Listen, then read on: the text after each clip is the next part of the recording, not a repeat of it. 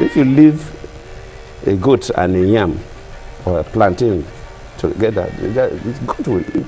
What you have to do if you make sure if you want to make sure that the goat does not eat the yam, you must separate it.